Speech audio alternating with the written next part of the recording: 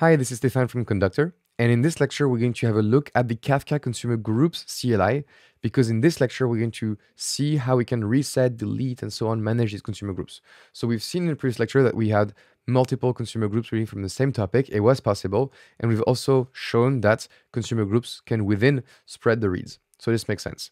So in this lecture, we're going to list the existing consumer groups. We're going to describe one consumer group, and then we're going to delete a consumer group. So let's get started.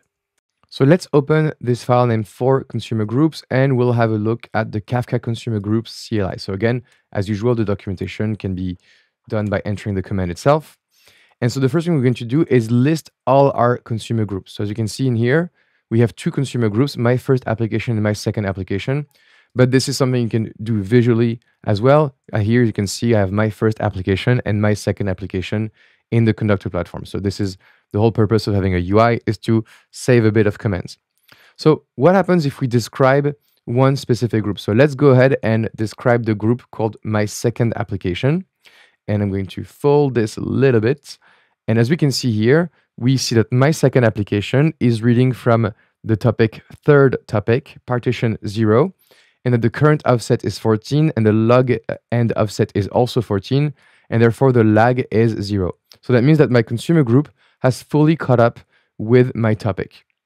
But we can see these numbers changing, and you can get the same kind of information by clicking on uh, my second application and get some details here, okay?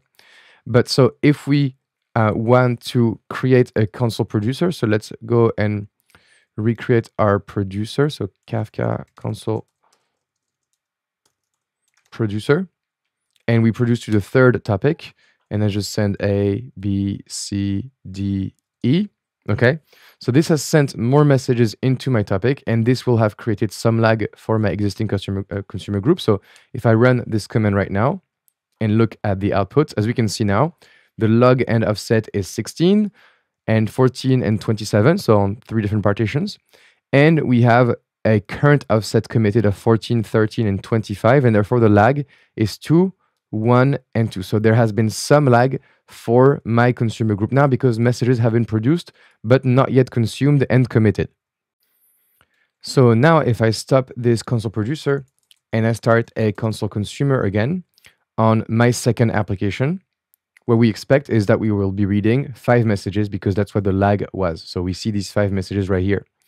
And if I leave the consumer running and do a describe again of my consumer group, as we can see, the lag is now zero, but there's been some data. So the consumer ID has been now filled, and this is very, very long. But as you can see, this console consumer right here is consuming these three partitions. And this is something you can also see in UI settings. So if you refresh this page and look at this one, so as we can see, we can see that this console consumer right here has been assigned from this host these three partitions. So this helps. This makes sense. And what happens if you start another console consumer? So let's start another one on the same group. Ah, this is a consumer group command, so no. Let's start a console consumer. Here we go. So now we have two consumers as part of the same group. And if I do a consumer group CLI, as we can see in here, you will see it. So partition 0 has ID B46, partition 1 has ID B46, and partition 2 has ID FA1. So that means that this consumer FA1, this new one, is consuming partition 2, whereas this consumer right here, B46, has partition 0 and partition 1 assigned to it. And this is why we see messages being spread out between different consumers when we read. And this is again a behavior you will see by going into the UI. Now we can see two different consumers with two different IDs are consuming different sets of partitions. So that's a pretty cool thing to demonstrate. And now we understand why things are happening and how we can describe what is happening. So one last behavior I want to show you is that when you start a console consumer, but you don't describe a group. So in this example, I'm going to have a console consumer. But in this command right here, I use the topic, third topic from the beginning, but I don't specify a group ID. So my console consumer is actually going to read all of my topic. This is expected. And now if we do a uh, consumer groups command, but we are going to do a list to list all the existing consumer groups. As we'll see, we'll find console consumers in there.